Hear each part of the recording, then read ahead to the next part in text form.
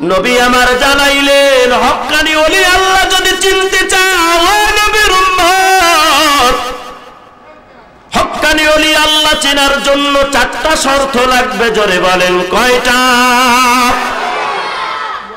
তুমি যাকে অলি মানবা, তুমি যাকে পীর মানবা, তুমি যাকে বুজুর্গ মানবা।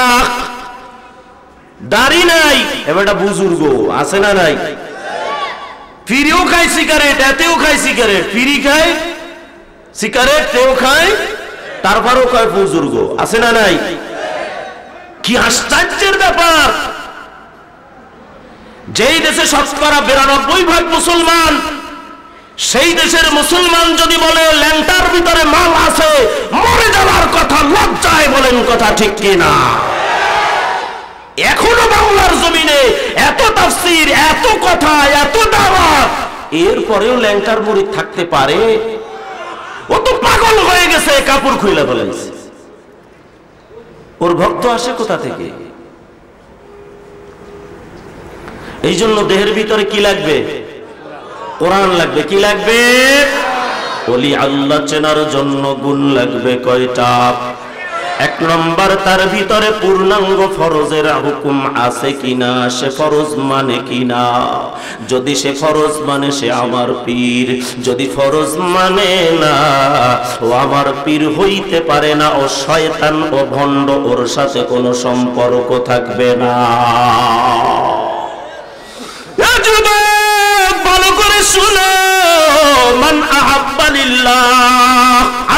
খুশির জন্য কথা বলি।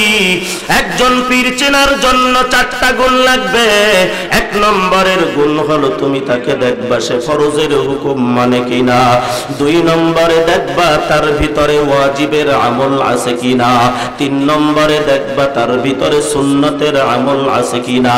চার নম্বরে দেখবা এই তিনটা মানার পরে যে যত কোরআন তালাওয়াত বেশি করবে, যে যত তাহাজ্জুদ বেশি পড়বে, যে যত জিকির বেশি করবে। যে যত গভীর রাত্রে মালিকের কাছে রোনা জারি করবে রে, ওই মানুষটা আল্লাহর কাছে তত বড় বুজুর্গ অলি হয়ে যাবে। সুবহানাল্লাহ, জোরে বলেন। তাহলে আপনার পীরকে আপনিই যাচাই বাছাই করেন, আমি যাকে পীর মানলাম, সে ফরজের হুকুম মানে কি না ফরজ শুধু নামাজ না, ফরজ শুধু রোজা না, ফরজ শুধু পর্দা না, ফরজ শুধু জাকাত না, ফরজ শুধু হজ না? ফরজ অনেকগুলো হুকুম, এগুলো জানবেন আগে আল্লাহর ফরজের হুকুম কি কি? এগুলো আগে জানিয়া সিনার ভিতরে এলেমটা নিয়া এরপরে দেখেন আপনার পীরের ভিতরে ওয়াজিবের আমল আছে কিনা? আপনার পীরের ভিতরে সুন্নাত তরিকার জীবন আছে কিনা? আপনার পীর যে দাড়ি রাখছে, এটা তরিকায় রসুলের দাড়ি কিনা?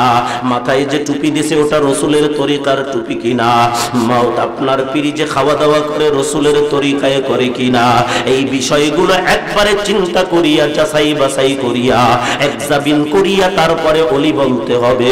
এখন এই চিন্তাটা করার জন্য সিনার ভিতরে কোরআনের এলেম লাগবে কিনা এ নবীর উম্মত, এই জন্য নবী আমার শুনিয়া যেই ভিতরে কোরআনের এলেম নাই, ওই দেহ হলো একটা বিরান ঘর, একটা শূন্য ঘর।